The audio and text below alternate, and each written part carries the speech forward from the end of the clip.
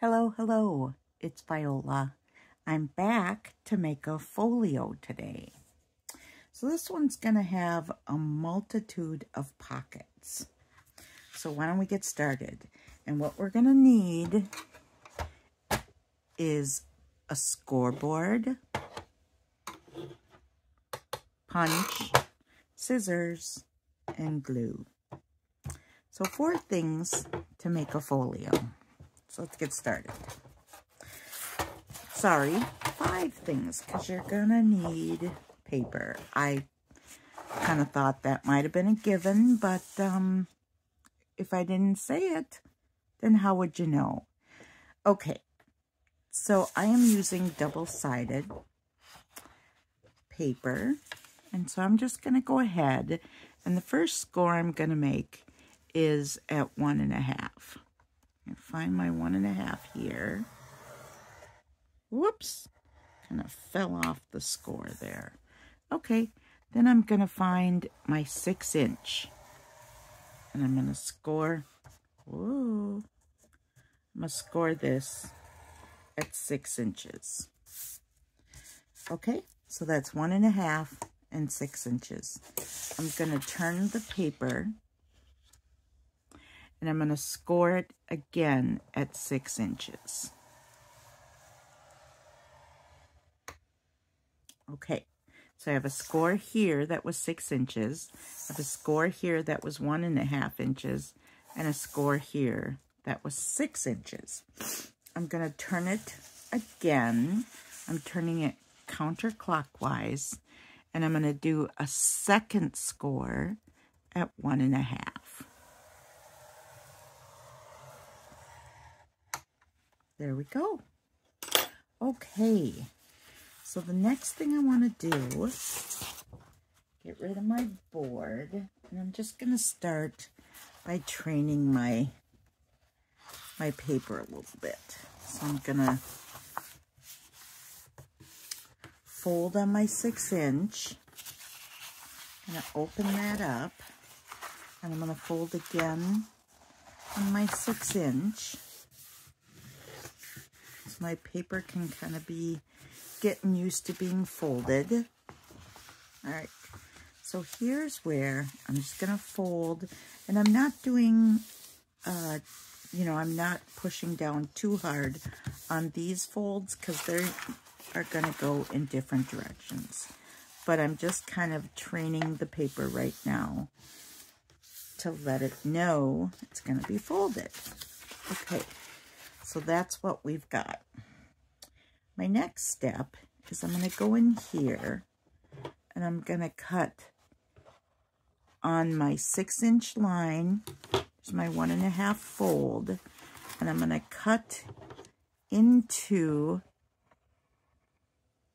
the paper on the fold line until I hit that line right there. So I don't know if you can see it in my camera, but I'm only cutting till I hit that fold line. I'm going to turn the paper over and I'm going to do the same thing. I'm going to cut right, I'm not using my small scissors, um, but I'm going to cut right up to the fold there. Okay, so that I should have two, yep, which I do. Okay, so now I'm to fold my paper. I'm to fold it up. So here is where you can choose whether or not you're to have a full six inch folio or you can choose to have a shorter folio, which I did with this one. I cut it down, I believe, to four and a half. So that right here is where you kind of want to decide how tall you want your folio. So I'm actually going to make mine, because I've got a couple of them at six inches. I'm going to make mine five inches. So I'm just going to cut there. Now it's five inches tall. Now I'm going to start folding. So I want, let me think. I'm deciding what's going to be my uh, pocket and what's going to be my actual uh, front and back. What I think I want to do is I think I want to put the plain part on the inside. So I'm going to fold this one this way. And since we're here, we might as well fold this one this way. Flip it over. And we're going to fold this one this way. And this one this way. All right. So now what I want to do is I want to tell my paper now, this is how you're going to be folded. And somehow, I wonder how that happened. My papers are not lining up. That's interesting. Well, I'm just going to get them to line up. Nothing has to be perfect. So let me just, that is really interesting. Let me just, this is 12 inches. That's why, because I didn't fold on the 12. Okay, that's all right. We're still going to be okay. So what I'm just going to do is train my paper that I want it to be, it was a about an eighth of an inch off. And I'm probably going to cover this folio with some something so I'm not going to worry about that there's going to be a, a little extra fold there. Just going to burnish that down, get it to where it says this is where I'm to be folded. Okay, so now what I want to do is I'm just going to clean up these cuts a little bit so that they don't overlap. Sometimes I'm not very uh, straight with my cutting. I think the others look okay. Okay, so now what I'm going to do is I want to decide, here's what I've got. Yeah, that's going to be on the outside.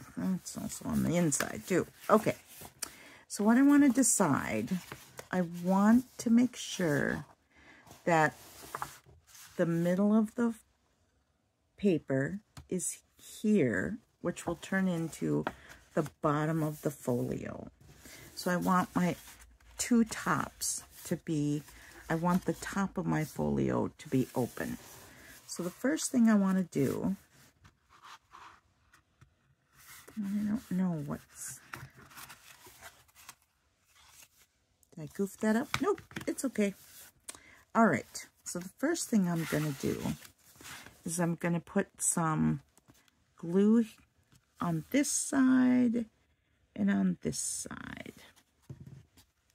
Okay. And that is going to create my first pocket. Now, I forgot. So let's just make a little notch. There we go. Now let's put our glue down. I forgot to put my notch down. There we go. Okay. So I'm just to secure that glue down. And this paper is a little thicker than scrapbook paper. It's actually, what I was told is, it is a print. So if you're um, ordering wedding uh, invitation, this is the, I got it free off of Marketplace. Okay, so, so this is a little thicker than scrapbook paper. All right.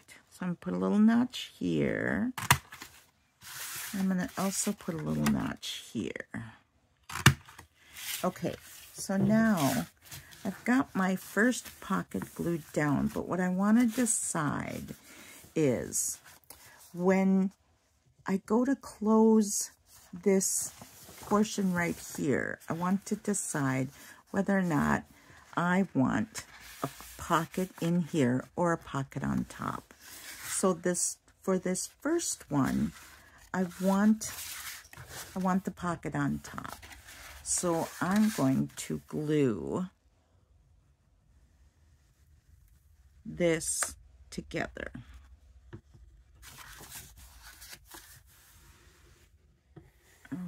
Okay. Just making sure that glue gets in there. So for this second part, I'm going to, let's just glue this pocket down while we're here. And I'm using Art Glitter Glue. I buy it in the big bottles um, because I live in Minnesota. Um, Art Glitter Glue can freeze coming to uh, my state in the winter. So I buy them in the big bottles during the warmer months so that it arrives to me um, all nice and and usable. So now this one, I am going to choose to have the pocket be in here. So I'm going to go ahead and I'm going to add glue up here, closing this upper spot here.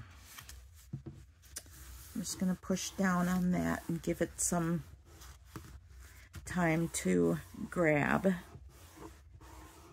And then I'm going to secure my pocket. Now here's a different that you can also do. I've been crafting all day. Um, here's a different thing that you can do. When you're at this point, you can choose, instead of having a pocket here, you can choose, like I have, and put the pocket here. So I think, uh, did I close that up? No, okay. So I think, I'm trying to decide whether or not I want to do that. You know what? I've got, yeah, mm, no. I'm going to, right now, I'm just going to leave it like this, and I'll show you the variation um, when I did use it that way. So I'm going to go ahead and close up that pocket here. And I have one more pocket to close, and that's on this side. Now, if you decide that you want to glue your folio in where um, you don't see that pocket, then you don't have to worry about what's going on there. Um, but I, I'm going to make this folio so that I just set it into the journal. I'm not going to glue it in. So I'm going to create that back pocket. And of course, I forgot to make my notch. Okay. So let's put that glue back there. And now we're going to secure the pocket down. Okay. I'm just securing that pocket down. So anyway, what I was saying is that I got this paper off of Facebook and I didn't pay for it. I didn't take it off their porch. I know some of you might think that. Um, the gal was giving away um, a huge box of this paper. And so I got this box of paper as well as some other different kinds of scrapbooking paper. And then I have some uh, kind of sparkly uh, printer paper um, so if I want to print something like Christmas pictures or Christmas ephemera. I've got this sparkly stuff that I can print. Okay, so I've got this going on now. What I'm going to do is I'm going to just show you what the folio looks like. And so it also goes like this. Now, you can, if you want to, you can also fill it like this and maybe pop something here or a notebook or something there. That might be kind of fun. Otherwise, I'm going to go like this, and I'm going to just have that folio this way. And so what I have is a pocket here. I have a pocket up here, pocket here, a pocket here, and then I have a pocket in here that I can put stuff, and a pocket here. So that folio is how, that is how I made this folio. So a couple of different variations to this particular folio is I did this one and it was six, I left it the six inches, but I didn't put a pocket on the outer. So I can embellish this whole front. I actually, um, if you can see, I folded it in and glued it inside. There's a pocket here and if I'm correct in this, nope, this is not the one that I did. Okay, so this is a pocket here. There's the two pockets here, and then there's a pocket up here, and I did put a pocket on the end. Um, I don't know if I'll glue that down or not, but so there's that where I've left the cover all, um, I folded this pocket inside and glued it inside. Then there is this one, because we're becoming, we're coming up to the Christmas holiday.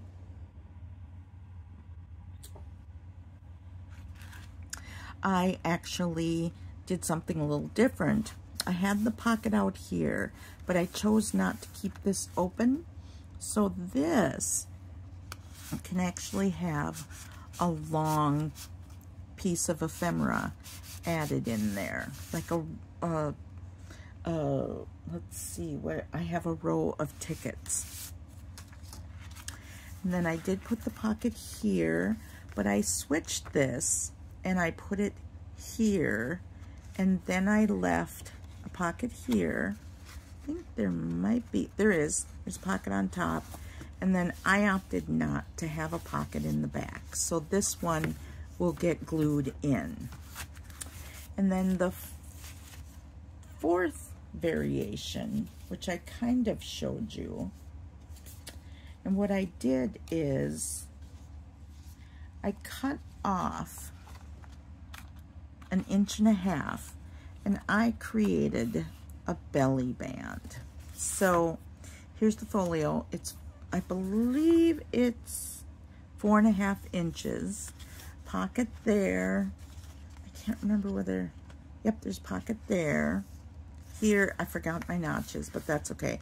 And then I did not leave, I didn't. I didn't leave a pocket here or here. So this one only has the tuck pockets. Here's one. But then I used that inch and a half and I created a belly band. And so what's going to go in here are lightweight um, pieces of ephemera, ephemera, but I did create a belly band. So if you want to go ahead and watch my next video, I'm going to embellish these.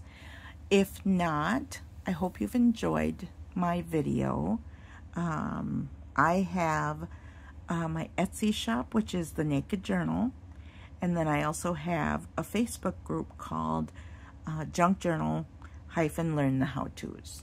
So catch me on the next video where I am going to embellish these.